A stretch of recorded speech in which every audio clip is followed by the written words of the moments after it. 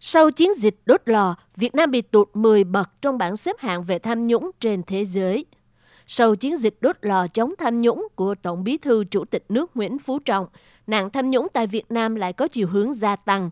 Điều này được thể hiện trong chỉ số CPI năm 2018 của Việt Nam khi bị giảm 2 điểm và tụt 10 bậc so với năm 2017 trong bảng xếp hạng về tham nhũng trên thế giới của Tổ chức Minh bạch Quốc tế có trụ sở chính tại Berlin, thủ đô nước Đức.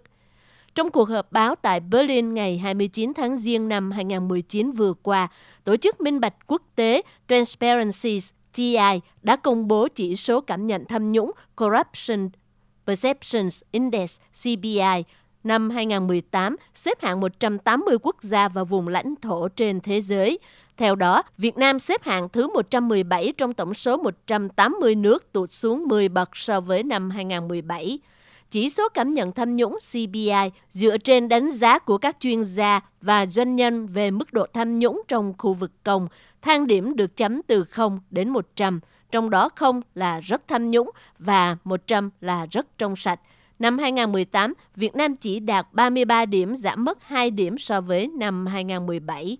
Chỉ số CBI năm 2018 của Việt Nam được tính dựa trên cơ sở 8 nguồn dữ liệu là những khảo sát quốc tế độc lập.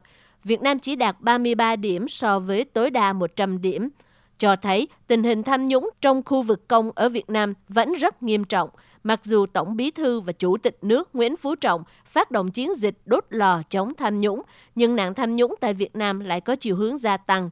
Điều này được thể hiện trong chỉ số CPI năm 2018 của Việt Nam khi bị giảm 2 điểm và tụt 10 bậc so với năm 2017. CBI là chỉ số về tham nhũng được sử dụng rộng rãi nhất trên thế giới. Để chống tham nhũng có hiệu quả, Tổ chức Minh bạch Quốc tế đưa ra những đề nghị cụ thể như sau.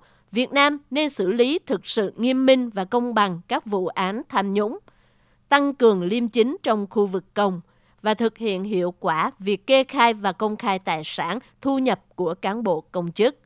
Năm 2018, Đan Mạch và New Zealand tiếp tục dẫn đầu bảng xếp hạng với điểm số lần lượt là 88 và 87 điểm. Khu vực các nước châu Âu nói chung vẫn là khu vực có điểm cao nhất. Phần Lan bằng điểm với Thụy Điển và Thụy Sĩ cùng 85 điểm, Na Uy 84 điểm, Hà Lan 82 điểm, Luxembourg 81, Đức và Anh cùng 80 điểm. Tại khu vực châu Á, ngoài Singapore, Hồng Kông và Nhật, là hai đại diện có thứ hạng cũng khá cao với lần lượt là 76 điểm và 73 điểm. Tại khu vực Đông Nam Á, Singapore là đại diện duy nhất trong top 10 các nước trong sạch nhất với điểm 85 điểm. Đứng cuối bảng xếp hạng là các nước Somali 10 điểm, Syrian 13 điểm.